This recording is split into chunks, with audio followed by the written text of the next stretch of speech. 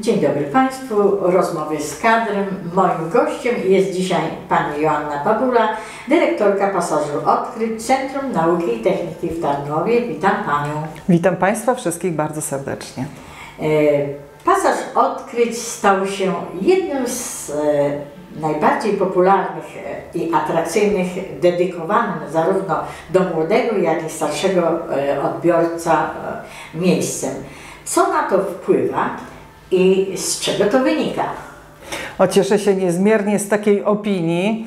To tylko świadczy o tym, że nasza praca, nasze założenia i nasza misja jest realizowane prawidłowo i odpowiedź ze strony mieszkańców e, Tarnowa, ale i też wszystkich innych zainteresowanych e, nauką jest, jest cudowna i nasza praca po prostu ma sens. Co na to wpływa? No być może takie czasy, że każdy chciałby coś więcej wiedzieć, co się w nauce dzieje, rozwój technologiczny bardzo szybki postęp e, dostrzegamy i poniekąd, jeśli mowa na przykład o seniorach, by nie być wykluczonym cyfrowo, no to właśnie takie warsztaty i różne spotkania wokół nauki, które organizujemy, są ku temu sposobem. E, cóż to jest wykluczenie e, cyfrowe? Pewnie nie jeden z Państwa już się nad tym zastanawiał, a może nie. No, Proszę sobie na przykład wyobrazić, ostatnimi czasy mieliśmy też takie e, zdarzenie, że zaproponowano nam, czy byśmy nie zechcieli troszkę poopowiadać o działaniu takich podstawowych, podstawowych urządzeń, jak na przykład parkometr. Czy my moglibyśmy uczyć obsługi parkometru? Na mieście, albo jakichś innych, jakieś, nie wiem, mikrofalówki, lodówki, albo czegoś, gdzie wchodzi nowa technologia, wchodzą nowe aplikacje, które wymagają jakiejś tam obsługi. Myślę, że do rozważenia, w jaki sposób edukacyjnie to e, ująć. Niemniej jednak potrzeby, dostrzegamy różne potrzeby różnych grup wiekowych e, i będziemy starać się sprostać e, właśnie tym, tym, tym oczekiwaniom. oczekiwaniom. Tak. Pani Joanno, za nami wakacje. E, jakie one były w pasażu? Ciepłe, proszę Państwa, wakacje były ciepłe, e, ale też e, ogromny ruch u nas i to tutaj muszę się pochwalić, spowodowany dwoma, dwoma, dwoma sytuacjami. Jedna to oczywiście E, ferie naukowe w pasażu, czyli wakacje naukowe, mm, na które zapisało się całe mnóstwo dzieci, więc jak co rok, jak w wakacje, jak w zimowym okresie też e, międzyszko e, przerwy międzyszkolnej, organizujemy warsztaty dla, dla dzieci, ale w tym roku również zaobserwowaliśmy całkiem spory ruch ze strony turystów. Okazuje się, że Tarnów staje się coraz bardziej popularnym miastem e, w Polsce e, i wiele osób, które przyjeżdża do Tarnowa, poszukując różnych atrakcji, fajnych miejsc wartych odwiedzenia, zagląda do pasażu. I w, właśnie w lipcu, sierpniu zaobserwowaliśmy bardzo duży ruch z tytułu ruchu turystycznego. Więc poza naszą codzienną e, aktywnością związaną z realizowaniem warsztatów naukowych, Oprowadzaliśmy bardzo wiele osób po ekspozycji. Super. Mamy do tego osoby kompetentne, przygotowane, które już e, o ekspozycji mogą opowiedzieć niemal wszystko. Kilka ścieżek oprowadzania po ekspozycji również mamy opracowanych, czyli jakby na przykład ścieżką e, tarnowskich naukowców, odkrywców i naukowców, albo o, prowadząc i opowiadając o historii budynku, na wiele sposobów można eksplorować e, naszą wystawę stałą. Więc jakby te, dwie, te dwa elementy, ruch turystyczny wzmożony, które żeśmy zaobserwowali oraz e, warsztaty, które żeśmy sami prowadzili, no, sprawiło, że było w, e, w pasażu było gorąco. Wakacje się skończyły, to co nowego i ciekawego w nowym roku szkolnym? Warto powiedzieć o nowych rzeczach, ale też i wspomnieć o tych, które będziemy kontynuować. Oczywiście zapraszamy na warsztaty do wszystkich naszych pracowni. E, w każdej będą kontynuowane tematy z ubiegłego roku, ale też i w kilku pojawiają się nowe. Jednym z nich, na który bym chciała zwrócić uwagę, jest bardzo specyficzny warsztat e, zwierzęta w mieście prowadzony w ramach pracowni przyrodniczej. Dotyczyć będzie, jak sama nazwa wskazuje, zwierząt, które możemy mm, zobaczyć, dostrzec, a które współ gdzieś tam w mieście z nami istnieją. E, no i się im bliżej przyglądniemy. Na czym będzie polegać warsztat?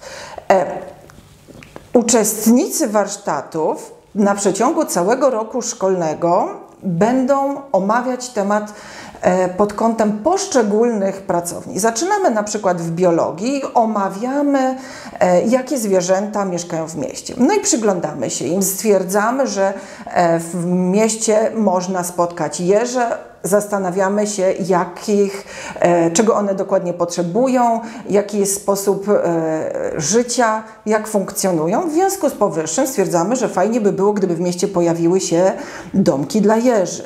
Ale żeby zaprojektować domek dla jeży, to najpierw musimy przyglądnąć się, jak go skonstruować. W pracowni Mała Inżynieria na przykład e, spróbujemy zrobić szkic, spróbujemy zrobić prototyp, wymierzyć, zwymiarować taki domek po to, żeby następnie w pracowni technicznej, czyli jakby już przechodzimy do trzeciej pracowni, spróbować go zbudować.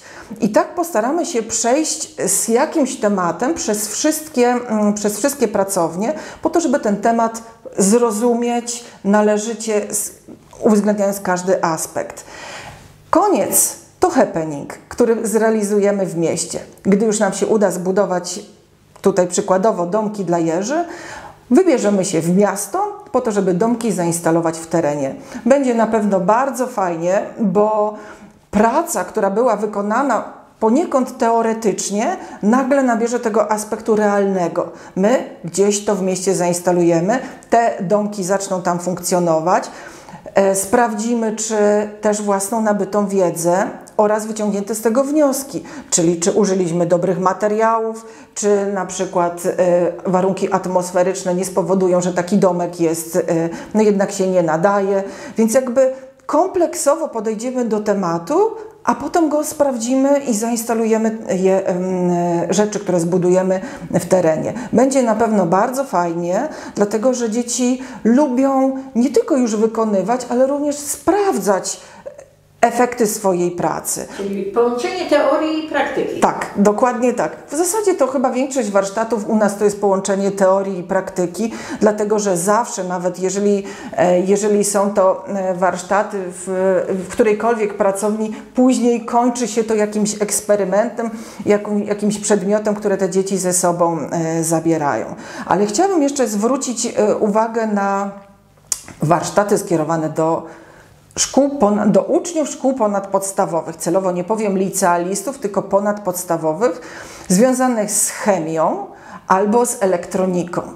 E, zawsze tak jakoś gdzieś e, słyszało się tu i ówdzie, że no ta młodzież to jest taki trudny odbiorca i my chcemy właśnie tego trudnego odbiorcę, tę młodzież e, docenić i zaprosić do nas na warsztaty. Jedne są z chemii i tytułem jest Ale Kwas, Będziemy tam, no ponieważ na poziomie szkoły średniej, no więc to będzie taka chemia zaawansowana, ale nie wykluczająca.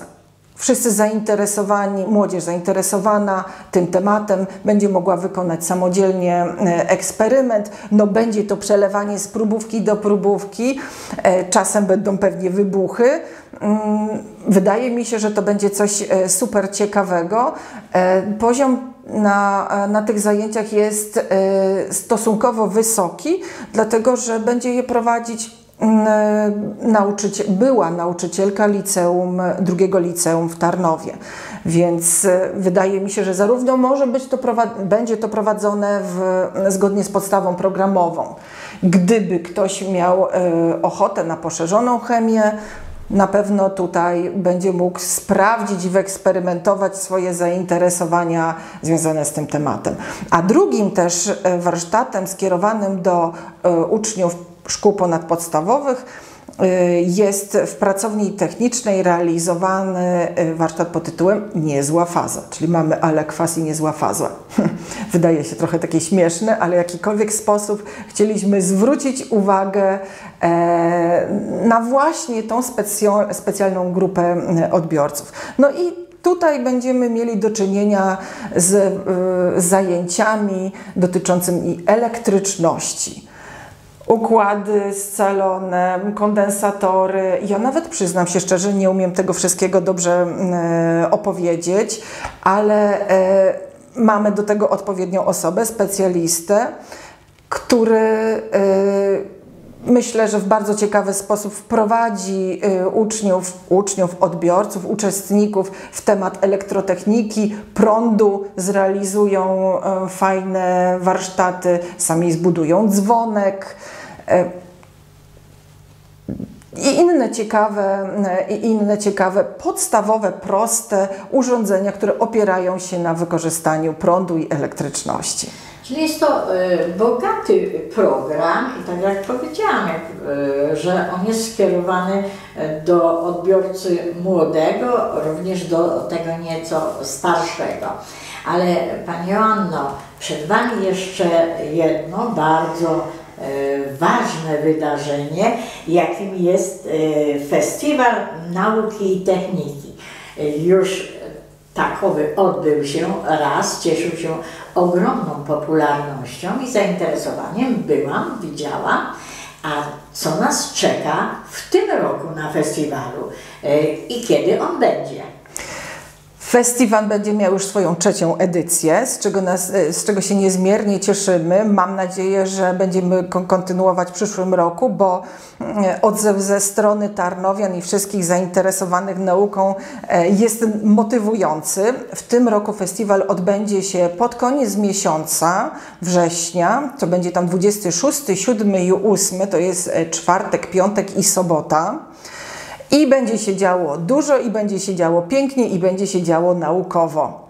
E, po szczególnych dniach e, zapraszam oczywiście do sprawdzania w harmonogramie, ale szczególnie chciałabym zaprosić osoby indywidualne na sobotę. Tytułem tegorocznej edycji jest Ekologika i my sobie to tak nazywamy, czyli jaki, jaka jest logika działań proekologicznych. E, w sobotę zrealizujemy dla ogólnodostępny. Kto będzie miał ochotę, zapraszamy bardzo serdecznie. Może trzeba będzie się zapisywać, ale tylko i wyłącznie po to, żeby za, zarezerwować sobie miejsce.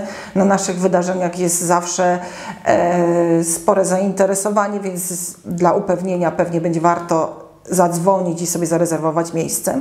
Będzie pokaz naukowy, który zrealizujemy e, dotyczący neutralizacji odpadów odzieżowych. Jak się okazuje, tekstylia, nasze bluzki, spodnie wcale nie są takie proste do zutylizowania, na przykład z powodu domieszki plastiku. To już nie są takie bawełniane bluzeczki, które można by było bardzo łatwo e, zutylizować, choćby po prostu przez spalenie. Nie, ten proces jest o wiele bardziej skomplikowany. Wszelkie lajkry, strecze, to są, mm, to są złożone, mm, złożone związki, również chemiczne, wykorzystane do procesu produkcji. No i tak naprawdę to jest całkiem spory e, problem. Zdaje się, że już chyba nawet i globalny. Więc pierwsza rzecz, na którą zapraszamy, to pokaz e, eksperymentów chemicznych zmierzających do utylizacji odpadów tekstylnych. Drugą rzeczą, na którą bardzo, zapraszamy bardzo serdecznie, to już na pewno Państwo słyszeliście o czymś takim jak system kaucyjny. System kaucyjny, czyli albo automaty vendingowe, następne takie magiczne, e, magiczne słowo. Na pewno już gdzieś słyszeliście Państwo o tym, że butelki plastikowe będziemy oddawać za kaucję. No dobra, ale gdzie będziemy oddawać za kaucję? Jak to będzie wyglądało? Mm, I e, już podpowiem, że będzie to wymagało również takiej pracy szerszej, informacyjnej, bo dotąd butelki plastikowe przecież mówiono nam, że trzeba zgniatać żeby zajmowały mniej miejsca gdzieś tam na śmietnisku czy w transporcie. Teraz się okazuje, że butelki plastikowe w ogóle nie będziemy zgniatać, tylko właśnie w całości i będziemy je przynosić właśnie gdzie, za ile i jak to się będzie odbywało wszystko. Tego się będzie można dowiedzieć podczas spotkania w dniu, to będzie dzień e, trzeci e, naszego festiwalu, w sobotę. E, Będzie zaproszony gość z Ministerstwa e, Środowiska, przyjedzie do nas specjalnie, żeby nam powiedzieć o różnych programach proekologicznych. E, Będziemy chcieli zaprosić również kogoś od nas z Tarnowa, z Urzędu Miasta, żeby opowiedział o różnych programach dotacyjnych związanych z ekologią. Także myślę, że będzie warto również sprawdzić, usłyszeć, czy w jakiś sposób możemy e, wspomóc swoje gospodarstwo domowe i finanse przede wszystkim dotacjami, które są do wzięcia. No ale właśnie, jakie, ile i co trzeba zrobić, tak, o, tym będziemy, e, o tym będziemy opowiadać. A ostatnią rzeczą, jeszcze taką myślę ciekawą, która się będzie w tym dniu mm, działa, to ekojazda.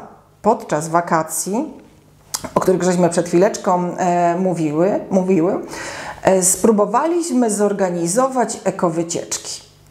Na czym one miałyby polegać?